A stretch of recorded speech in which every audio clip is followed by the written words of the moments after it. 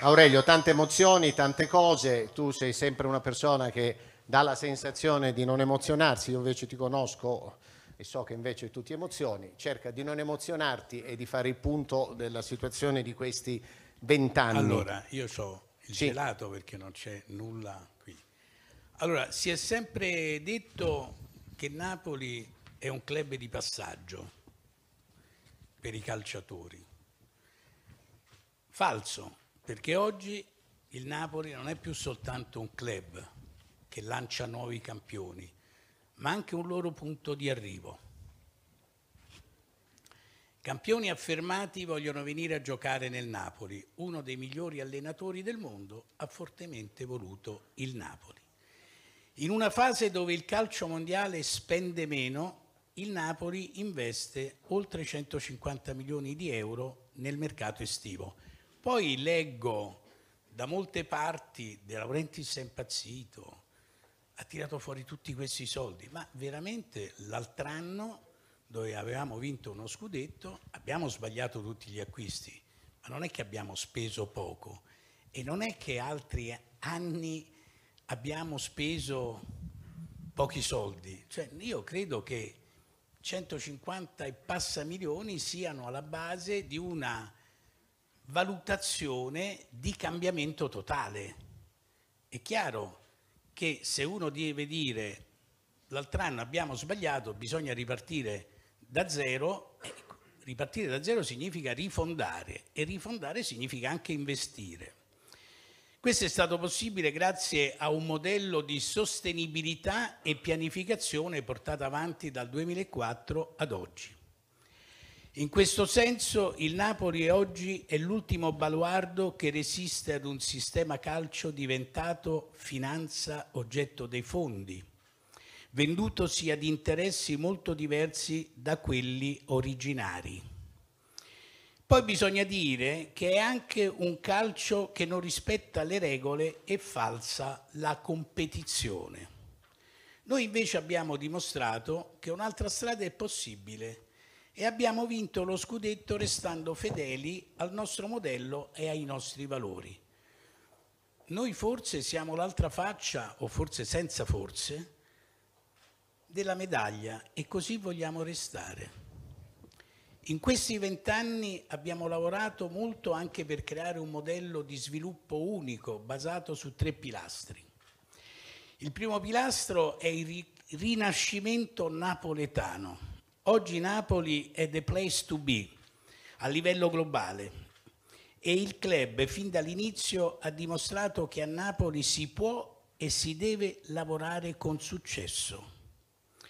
Poi da alcuni anni stiamo lavorando per enfatizzare sempre di più la bellezza della città e il suo lato più glamour. L'autoproduzione del kit tecnico è seconda, il secondo pilastro Grazie a questo progetto innovativo a livello mondiale, il club non è più solamente una società sportiva. Scusate, eh? ma è un leggio piccolo. Ma è diventato anche un fashion brand, capace di attrarre marchi internazionali che vogliono far parte di questo storytelling. Terzo pilastro, i diritti di immagine. Da vent'anni il Napoli detiene il 100% dei diritti d'immagine dei propri giocatori. Ora, dopo una prima fase durata vent'anni, dove abbiamo portato il club ai vertici in Italia e in Europa, adesso inizia la seconda fase, quella di spostare il focus anche su investimenti che consacrino definitivamente l'azienda Napoli e della sua definitiva consacrazione. Il calcio Napoli deve essere consacrato nella sua ulteriore indipendenza. In primo luogo stiamo procedendo ad una riorganizzazione aziendale che vede il Napoli da tre anni strutturarsi come un club più europeo, ossia più implementato in due aree principali, il comparto sportivo e il comparto aziendale, con competenze specifiche Dall'interazione fra queste due aree dovranno continuare i successi del Napoli del futuro. Il secondo elemento fondamentale di crescita è rappresentato dalle infrastrutture. Come sapete siamo al momento attivi su due progetti fondamentali. Il primo progetto è il nuovo centro sportivo del club, che servirà a dare una casa unica a prima squadra e settore giovanile, così da poter lavorare sul territorio come non abbiamo potuto fare nella prima fase della nostra gestione. Qui abbiamo manifestato la nostra volontà al Comune su un'area già individuata e che necessita di bonifica, che il Napoli si offre di effettuare a proprie spese senza gravare sui cittadini. Il nuovo centro sportivo permetterà un investimento importante anche nel vivaio per aiutare a far crescere i campioni di domani. Il secondo elemento è l'acquisto e la riqualificazione dello stadio Maradona Abbiamo creato un gruppo di lavoro interno al club e già dato l'incarico ad uno studio di architettura per pianificare la riqualificazione totale dello stadio Maradona e delle aree circostanti. L'obiettivo non è solo quello di poter lasciare in eredità ai napoletani una struttura moderna e funzionale per il calcio, ma anche poter offrire un'esperienza unica tutti i giorni con aree commerciali e di ristorazione, il Museo del Napoli, un'area interattiva e molto altro. Il tutto ovviamente in attesa del via libera da parte del comune. Via libera a che cosa? Alla vendita dello stadio.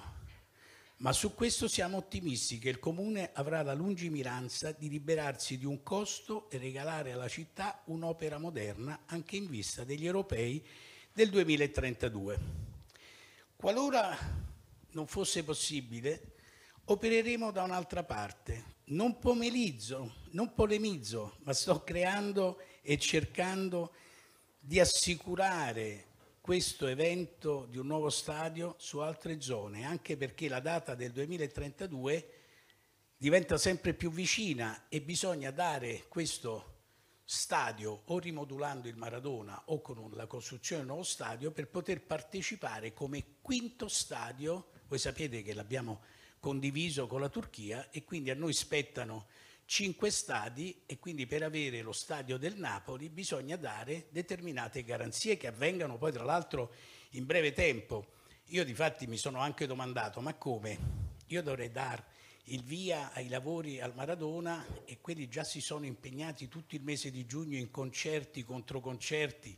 Cioè voi sapete Napoli è una città complicata da questo punto di vista perché la mano sinistra non va mai d'accordo con la mano destra e difficilmente si incontrano per stringersi una mano. Il terzo elemento su cui esiste insistere nel medio termine è il processo di ulteriore internazionalizzazione del club. Il Napoli ha una base di potenziali tifosi molto alta e noi ci siamo strutturati per poterla attivare entro breve tempo. Qui abbiamo lanciato o stiamo per lanciare alcuni progetti chiave di connessione con la nostra fanbase globale. Davanti a noi vedo un futuro ricco di sfide e di nuove opportunità da cogliere.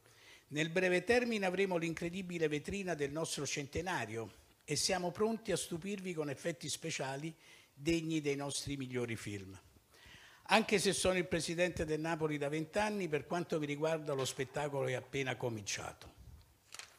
Posso promettervi che il Napoli, fin quando sarà gestito da me e dalla mia famiglia, non indietreggerà mai al cospetto di comportamenti ostili e predatori da parte di interessi privati.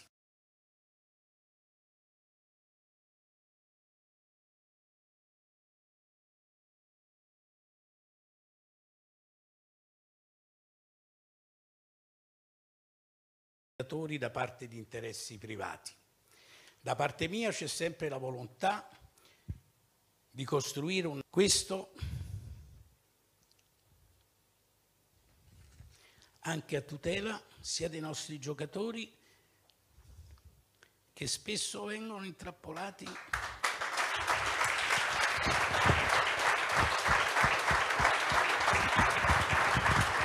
Avevo detto che si emozionava.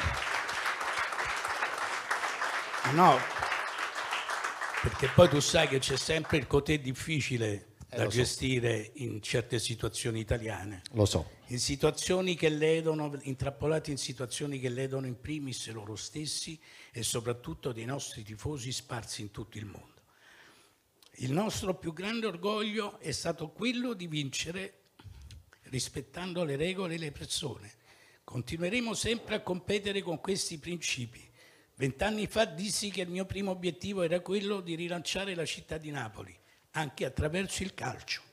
Oggi Napoli ha riconquistato un'attenzione globale, anche grazie al nostro supporto e da Napoli deve partire il futuro di un calcio libero, sostenibile e innovativo. Complimenti. Un ringraziamento anche all'amministratore delegato Andrea Chiavelli ed Edoardo De Laurentiis che hanno seguito questa avventura dall'inizio.